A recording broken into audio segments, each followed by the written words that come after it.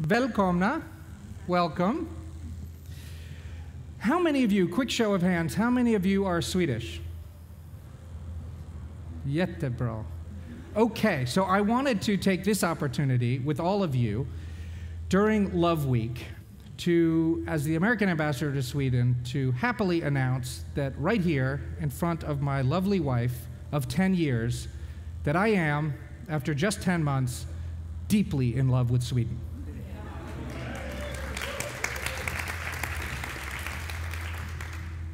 This country is so full of contrasts. Sweden is the home of ferocious Vikings and great peacemakers.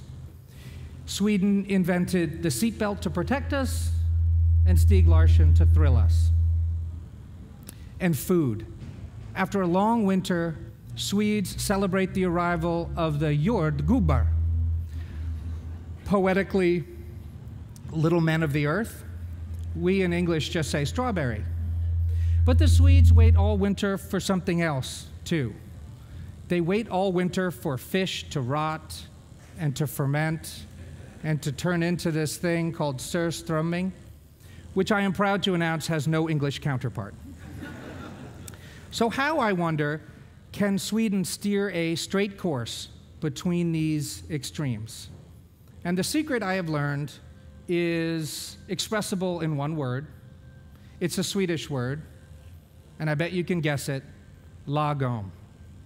How do we find this just right balance that allows us to be effective and avoid overreaching or underreaching?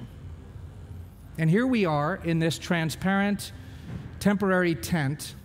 And if we look, I think right over there, we could see the masts of the Vasa Museum which is, I think, you know, obviously the, one of the most popular tourist sites in all of Sweden, but also a national monument, or certainly a national reminder for us never to forget Lagom. We all know the story. 400 years ago, or almost, this ship had all the latest and greatest technology, all the king's support, all the country's money, almost all of everything except for one thing balance. It was top heavy, not enough ballast below, and so right there, it went out, tipped over, and in front of everyone, sank to the bottom.